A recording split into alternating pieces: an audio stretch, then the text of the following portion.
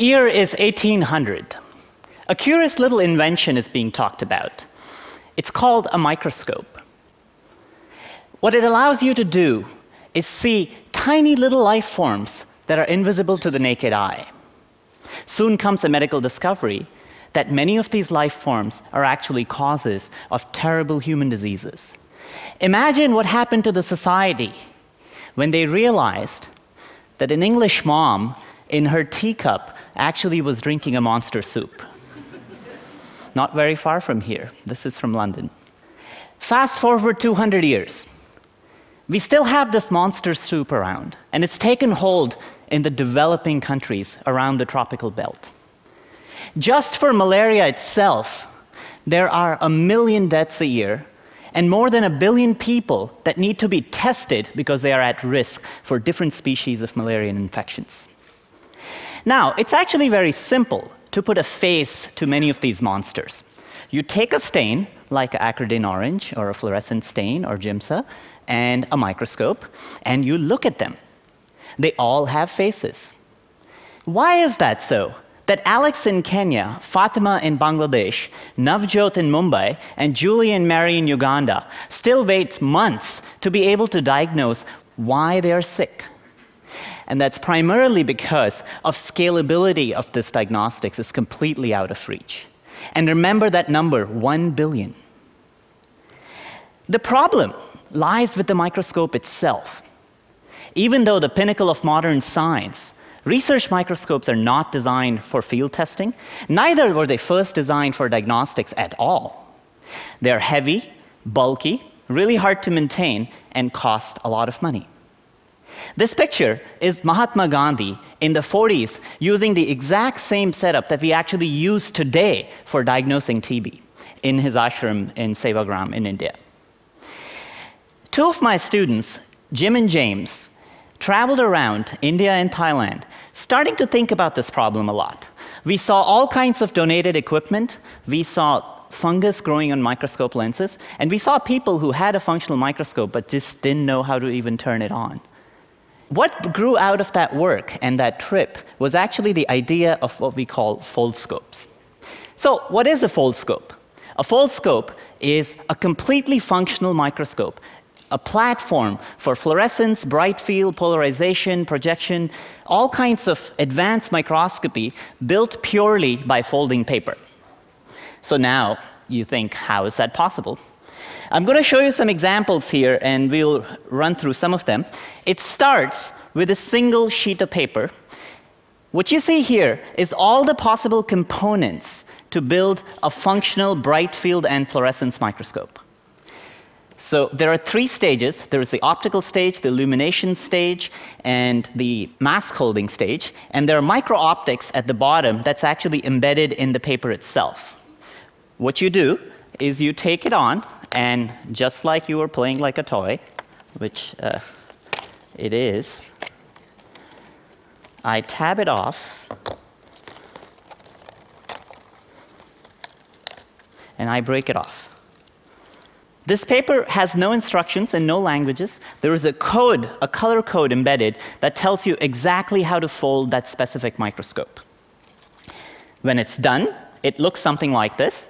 Has all the functionalities of a standard microscope, just like an XY stage, a place where a sample slide could go, for example, right here.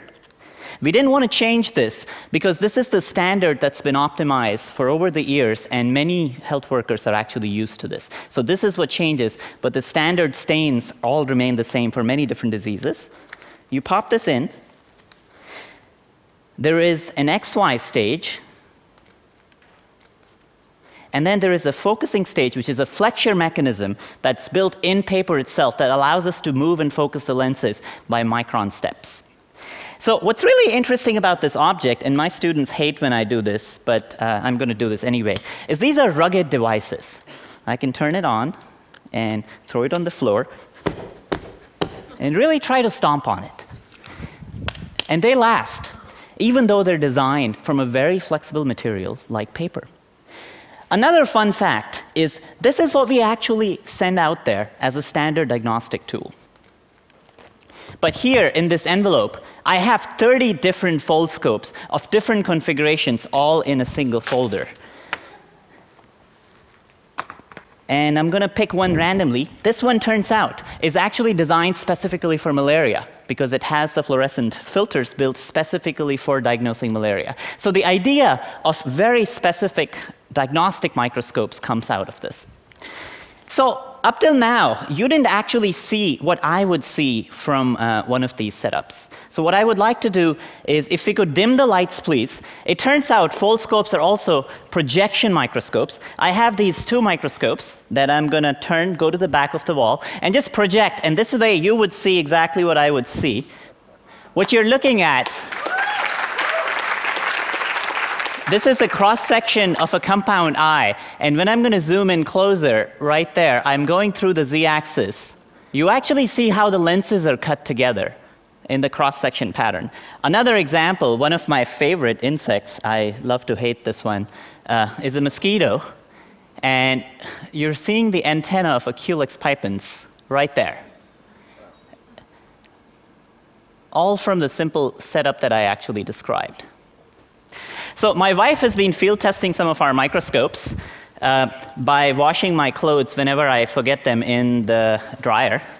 So it turns out they're waterproof, and um, right here is just fluorescein water. And I don't know if you can actually see this. This also shows you how the projection scope works. You get to see the beam the way it's projected and bent.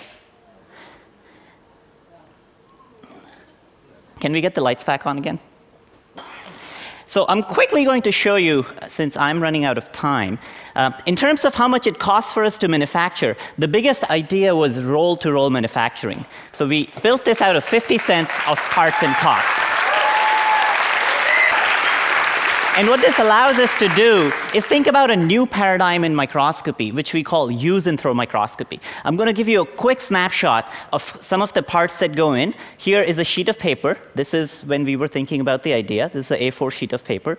These are the three stages that you actually see. And the optical components, if you look at the inset up on the right, we had to figure out a way to manufacture lenses in paper itself at really high throughputs. So it uses a process of self-assembly and surface tension to build achromatic lenses in the paper itself. So that's where the lenses go. There are some light sources. And essentially, in the end, all the parts line up because of origami, because of the fact that origami allows us sub micron scale precision of optical alignment. So even though this looks like a simple toy, the aspects of engineering that go in something like this are fairly sophisticated. So here is another obvious thing that we would do typically if I was going to show that these microscopes are robust is go to the third floor and drop it from the floor itself. There it is, and it survives. So for us, the next step actually is really uh, finishing our field trials. We're starting at the end of the summer. Uh, we are at a stage where we'll be making thousands of microscopes. That would be the first time where we would be doing field trials with the highest density of microscopes ever at a given place.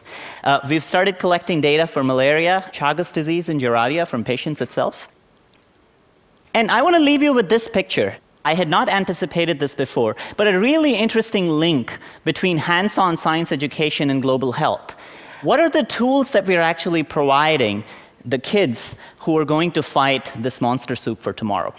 I would love for them to be able to just print out a Foldscope and carry them around in their pockets. Thank you.